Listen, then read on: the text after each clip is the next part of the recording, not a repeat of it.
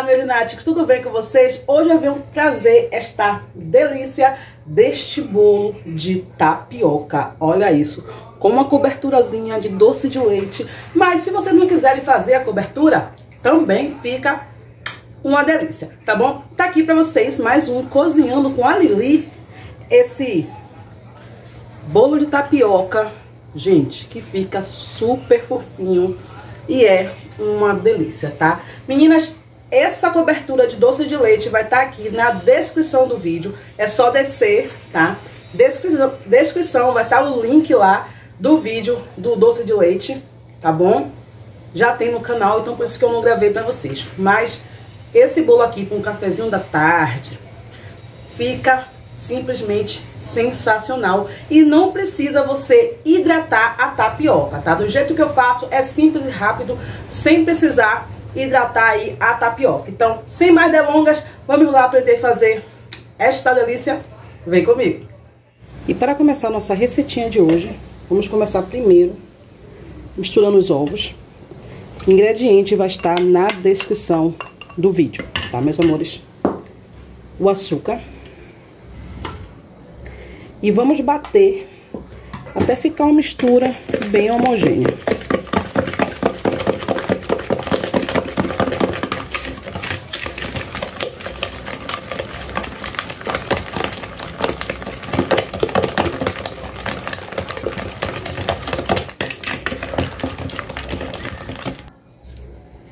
Misturamos já o ovo e o açúcar.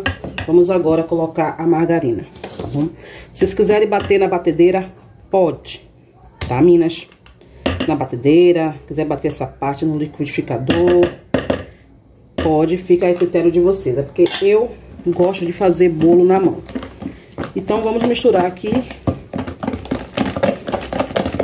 até agregar toda a margarina com os ovos e o açúcar. Misturou bem. Vamos colocar uma xícara de tapioca. Essa aqui é aquela tapioca granulada, tá? É aquela que a gente compra poder fazer cuscuz. Então, essa aqui é a granulada, tá bom? Aqui tem mais ou menos uma xícara de tapioca granulada. Tem gente que faz esse bolo hidratando a tapioca, mas eu como eu quero um bolo bem fofinho, eu não vou hidratar a tapioca pra fazer esse bolo, tá? Então, vou misturar aqui. Vamos colocar coco ralado. Misturar muito bem. E vamos começar a colocar o leite e a farinha aos poucos. Tá bom, meus amores? Eu começo primeiro com leite misturo e começo acrescentando aí a farinha aos poucos.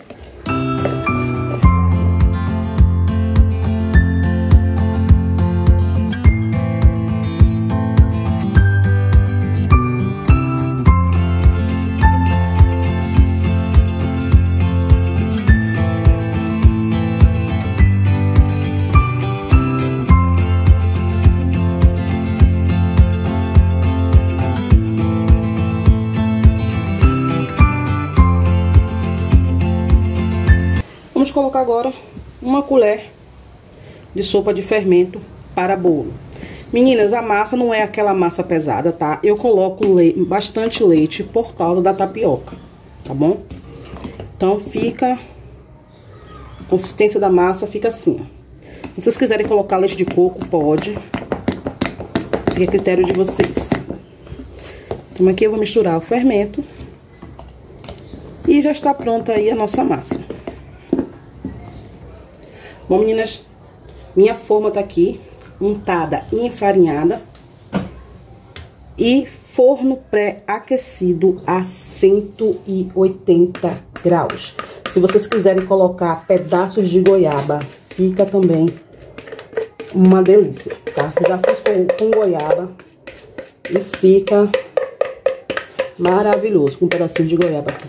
Bom, eu vou levar por aproximadamente de 25 a 30 minutos ou até que eu espete um palito e ele saia limpo, tá bom? Então, vamos lá levar nosso bolinho para o forno.